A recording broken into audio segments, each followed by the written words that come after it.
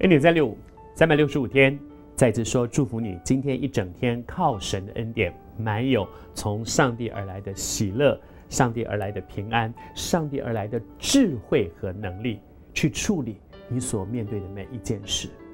在职场上会遇到挫折，在职场上会遇到一些攻击，在职场上会遇到一些超过你能力所能够负荷的，这是理所当然的。然而，我们成为基督徒。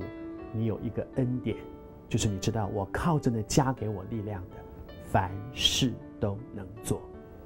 你也正在带领里，好像带领里的三个朋友一样，遇到一些别人无理的攻击吗？那么应该怎么处理呢？这三个年轻人选择不说话，我不回答，我不必回答，我不跟不随你起舞。你知道很多的时候，我们的情绪很容易随着别人起舞。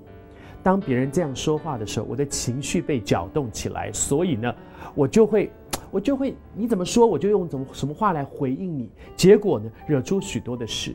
他们做了一个决定，不管你怎么攻击我，我不随你起舞。我也求主今天对你的心说话，在办公室里，不管遇到你周围的人用什么样的言语、什么样的态度对待你，你要不要做一个决定？我的回应。不随他起舞，不会因为他讲话的态度，我决定我要怎么样回应他。因为如果是这样，我就是跟着他了。我让他主导我的情绪，不，我不让他主导我的情绪。我的情绪是靠着神的恩典。主啊，你帮助我。不管他怎么说，我不跟着他；不管他怎么做，我不随他起舞。而这几个年轻人，他们做了这样的决定。不管你们外面人做什么决定。我不回答你们，我不跟着你们起舞，我坚持上帝要我做的事。而当他们在这样做的时候，我觉得他们说我们不回答，还有一个很重要的原因。我很喜欢保罗书信里面的一段话，他说，在这个时代是一个弯曲被谬的时代，但是神对每一个属乎他的儿女有一个心，就是在这个弯曲被谬的时代，好像明光照耀。后面说，把基督的道理。表明出来，表明出来，不是说明出来。有很多事情说不清楚的，公说公有理，婆说婆有理。但是你可以做一个决定，我不必跟你一直变来变去。然而，我可以活出来，把生命之道活出来。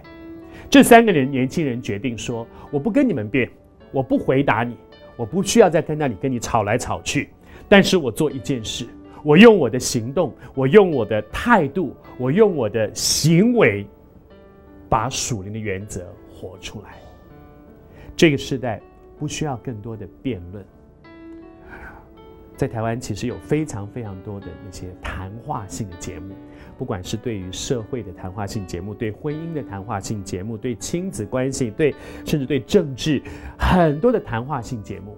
然后在那个谈话性节目当中，你就会看到很烦，因为真的这一台有这一台的台性，所以呢，你要听这一面的说法，这一台的节目都是这样。但是那一台呢，有一个完全不一样的一个台性，所以同样的一件事，到了那一台，你就听出来的跟这台好像完全不一样。真的，公说公有理，婆说婆有理。你如果单单只看一台，你会觉得他说的真的蛮有道理的。但是如果你再听听对方那另外一个电视台所讲，你觉得怎么搞的？好像他们两个人讲的都蛮有道理，怎么回事呢？是求主帮助我们。今天这个时代需要的不是更多的辩论，辩不清楚的，越讲越觉得自己有理。但是今天这个时代需要更多人活出真理来。到底怎么活呢？活得让人羡不羡慕呢？你很会说，但是说完之后，你做不做得到呢？